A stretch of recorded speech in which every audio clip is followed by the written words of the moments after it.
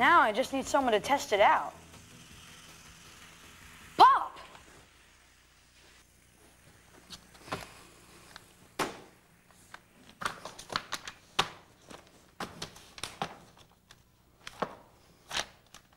Pop! Mike! How's it going? Delightfully, thanks. I was just taking the most pleasant stroll across that footbridge. Well, that's just what I needed you for. Why don't you take a stroll across my bridge? Well, don't mind if I do.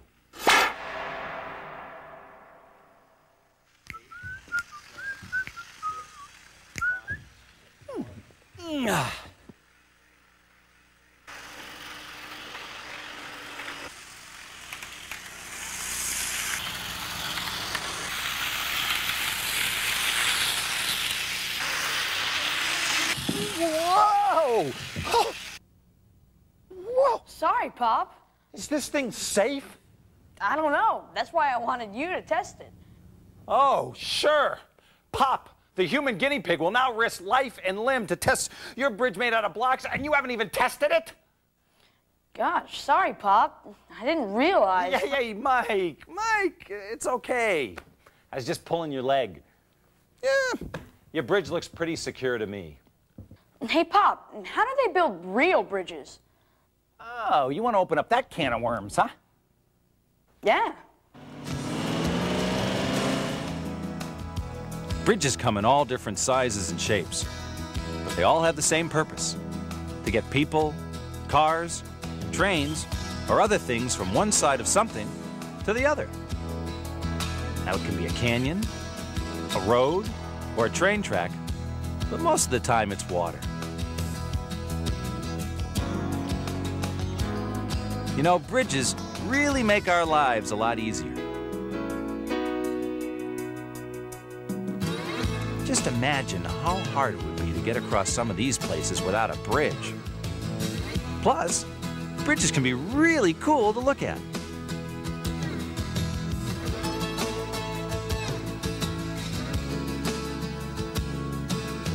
Building a bridge, especially some of these big ones, is a huge job which takes many years, lots of planning, and lots of people and machines. Over the years, engineers had to figure out how to make bridges that could span across long distances and have the strength to hold a lot of weight.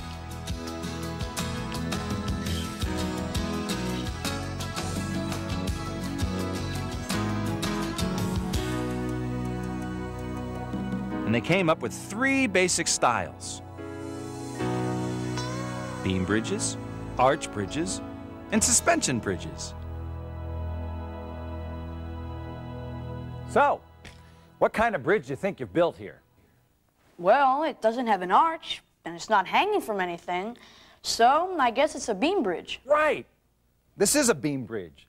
Since it doesn't have to go very far, you can use one block to reach across the tracks, and it'll support all the weight that's required of it.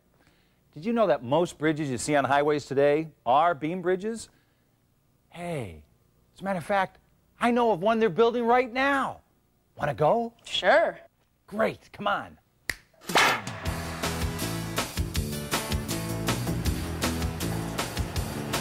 Hey kids, check this out. We're at a real live construction site where workmen are building a beam bridge called a fixed span bridge.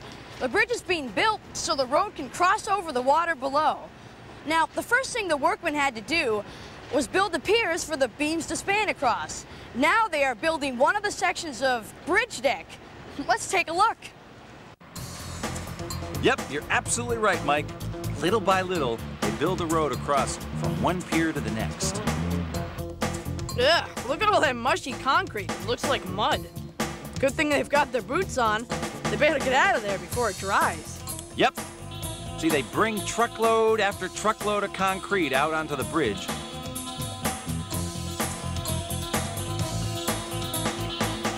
And then they smooth it out to make the surface of the road. They- They pump it through this long hose. Now that's what I call a long, long hose, eh, Mike? Still not over. It's like a snake. That's pretty gross, Pop. Nah, I think those guys have fun in the wet concrete. See him splashing around? What's he digging, Pop? Oh, he's digging a hole so they can build a support pier on the abutment. What's an abutment? An abutment is the land on either side of a bridge.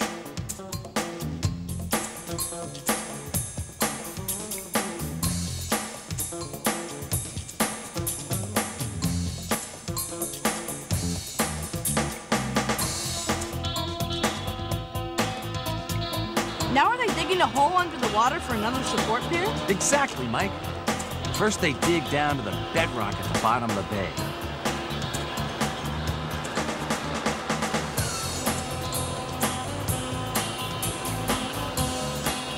And then they fill the hole with more concrete to make a base for the pier. Wow, they must go through a lot of concrete. Tons.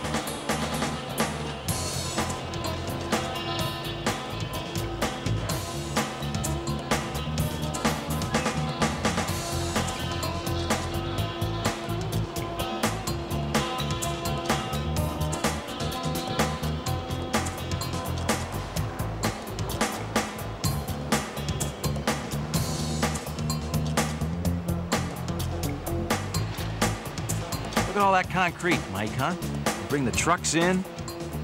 They spin that stuff just like a drying cycle. Hey, Pop, this is Theron. He's one of the bridge engineers. He taught me a lot of stuff. So how long is this bridge? The bridge is approximately 2,200 feet long from the abutment in the city of Salem to the abutment over in the city of Beverly. How long would it take to build a bridge like this? Total duration on this project is approximately two and a half years. Then Theron told me how they lift these big things up with a crane and fill them with concrete to make the tops of the piers. It takes a long time, so we had to speed up the videotape.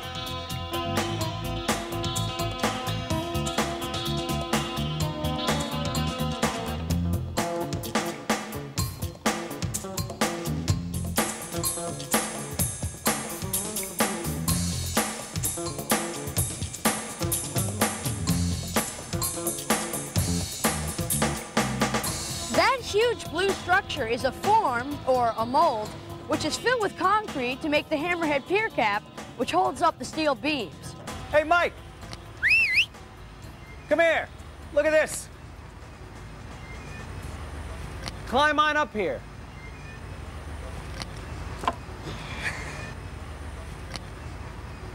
Now bounce. Wow, it's like a trampoline. Not very stable, is it? Now, tip it on its side. It's not a trampoline anymore. Now it's solid as a rock. That's because a beam tipped on its side is much stronger. Take a look. When you look at the end of a steel beam, it looks like the letter I, which is why they are called I-beams. See? Here they are, holding up the bridge. This is Bob, but everyone calls him Toast. He's gonna show us how this crane works. See, that crane won't I couldn't work. believe Toast was gonna let me drive the crane all by myself. Your right swing. First, he showed me how the controls work. This is the left. Let's bring it down. That hooks you got there. That's Then he let me give it a try. That one's up.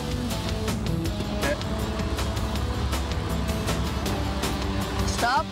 Now keep going. Say, keep going.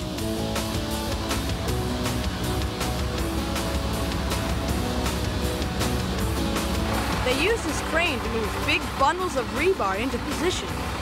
They are way too heavy for the workers to move by themselves, so they pick them up and then move them around with this crane. You tell stop, you stop. Oh, oh, okay. We want you to go down now. Straight down. Okay, before you to stop. Now put that level, pull back. Pull back. Now I want to wind that up. And let's the top one. See it up there? Mm -hmm. See the weight? You watch, that's how much of the weight when you get it off the ground. Hold it. Okay, moving out. Pull that lever to me. To me.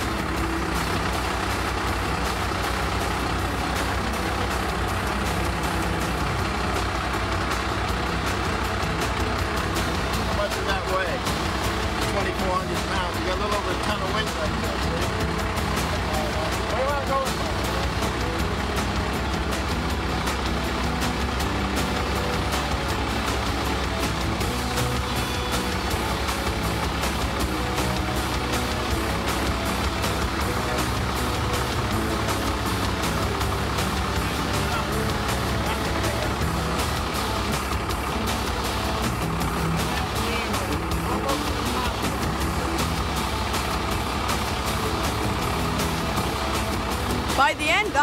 Got the hang of it.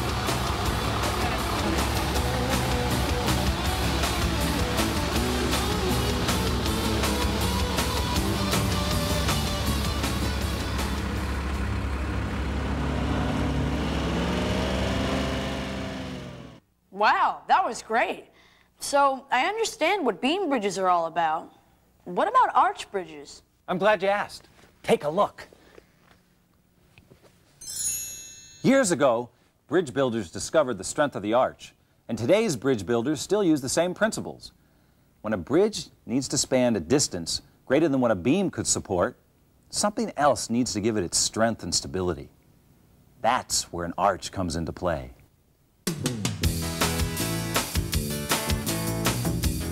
Natural arches like this one probably gave early bridge builders the idea of using arches in their bridges. First, they used stone, and then later, they used steel to construct these graceful arch shapes, which could support a lot of weight.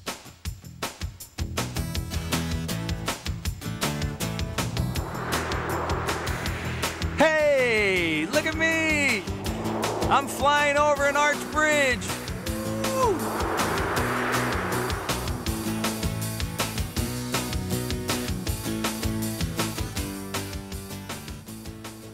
I'm standing in front of the Sagamore Bridge in Massachusetts. This bridge was built in the 1930s, and it's a great example of an arch bridge.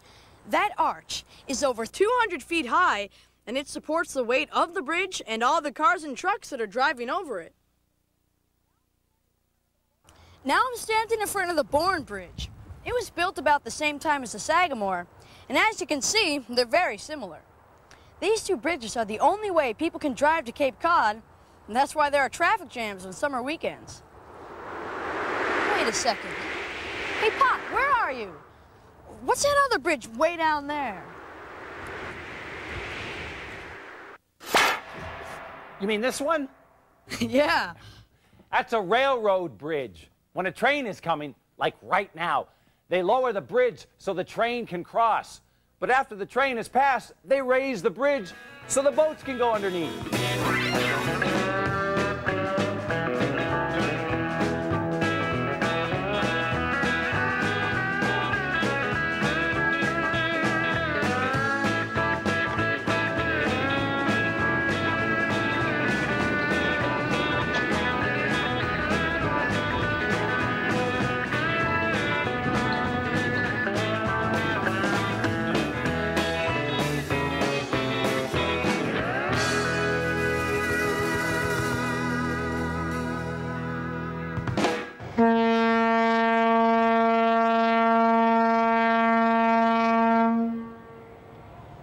You know, I know another bridge which lets boats go under it. You do? I sure do. My family used to vacation down here on Cape Cod. Can you zoom us to Woods Hole? Well, sure. Watch out, Pop. Hey, Don't hey. fall in. Don't you? See, Pop, every half hour they raise this little bridge to let the boats go out of the harbor. You're absolutely right, Mike. That's called a drawbridge. Whoa! Oh, whoops. Sorry, Pop. This is Karen. She's going to show us how this drawbridge works. Hi, Karen. Hi, Mike. We've got some boats that are ready to come out, so we've got to get the bridge open for them. First thing we have to do, these are our controls, is we have to give the traffic the red light. So why don't you go ahead and push that red button. This one? That one right there. Now follow me. We have to go out and swing these gates.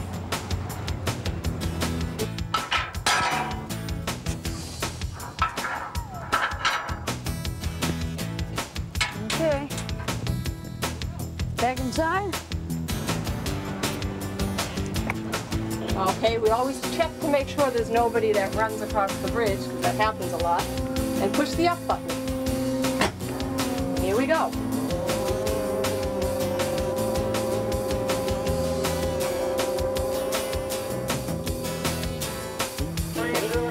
He's coming by at 1508. That's Tim. Hi, Tim. And he's going out.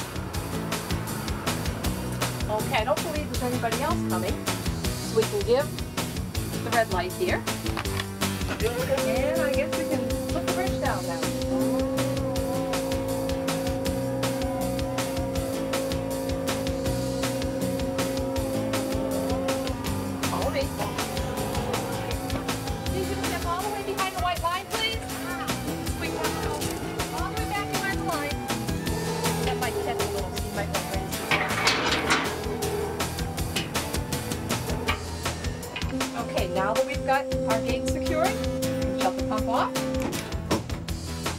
Lights, we can get the traffic going, and that's it. Okay. And that's how easy it is.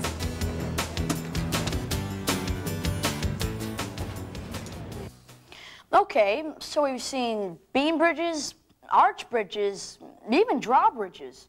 What's left? The zip bang ding granddaddy of them all, suspension bridges. And the next time you try and knock me in the water, I'll give you such a. Ow, Some of the most famous bridges in the world are suspension bridges. The Verrazano Narrows Bridge, the George Washington Bridge,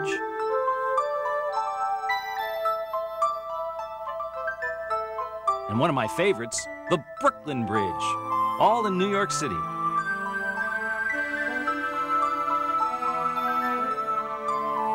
Of course, there is the Golden Gate Bridge in San Francisco.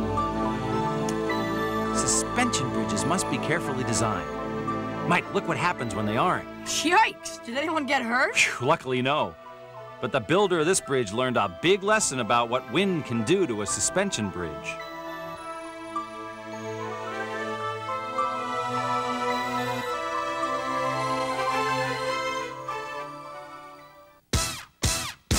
Hey, let's watch as they build the Pisan Odo Bridge in Japan. Just like at the beam bridge you visited, Mike, the first things they need to get built for a suspension bridge are the pier towers. They even use underwater explosives to help dig the footings for the huge pier towers.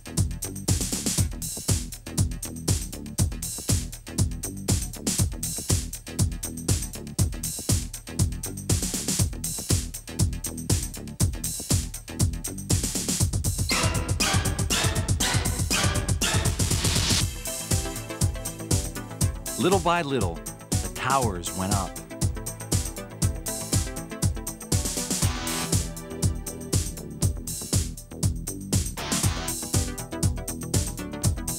They lifted some of the big pieces into position with a huge crane.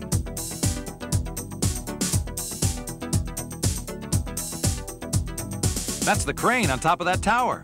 Wow, it's almost as tall as the tower itself. It sure is. But they had some pretty big pieces to lift into place.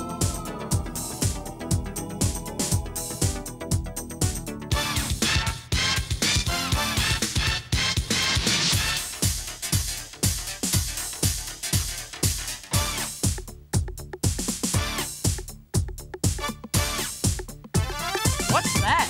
That's the wire they use for the cable. It's red hot because it's coming right out of the steel mill.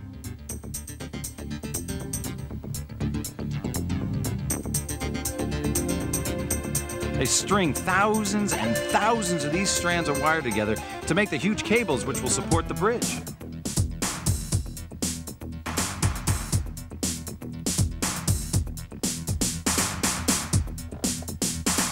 Look at all the cables. It looks like a huge spider's web. You would not believe how much wire and cable it takes.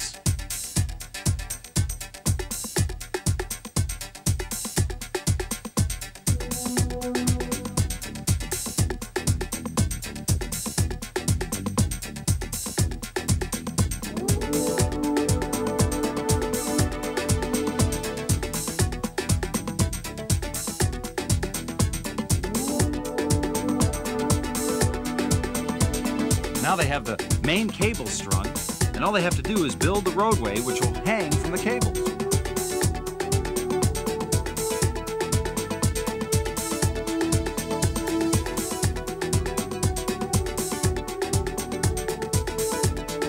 Wow, that's a cool looking bridge. Yeah, they don't come a whole lot cooler than that one.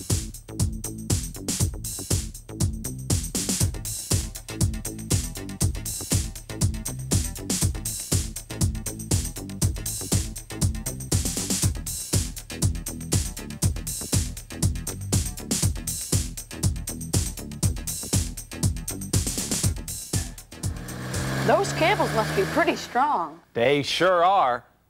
Hey, as a matter of fact, getting those cables suspended from tower to tower is the most difficult part about building a suspension bridge. Here's how they did it when they were building the Golden Gate Bridge.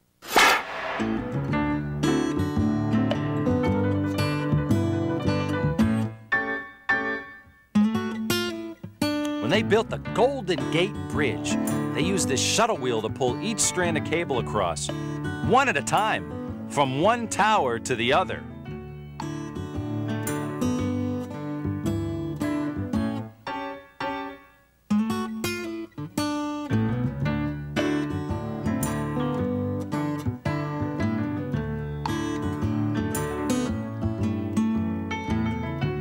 Eventually, they had a giant cable that measured almost six feet in diameter. Then, they wrapped a huge cable with one more strand to hold it all together. Finally, they hung from the support cables and painted the whole thing gold.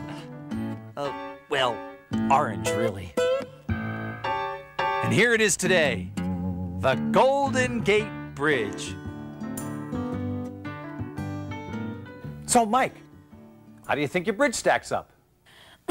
Well, from my educated viewpoint, I would have to say that my rudimentary beam-style bridge, while being quite simple in its design, has sound engineering and is rather functional.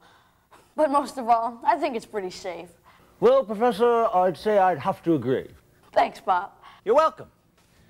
Say, Mike, I think this is one of the most pleasant strolling bridges I've ever encountered. Hey, hey, hey, hey, hey. Watch it. Just kidding. Boy.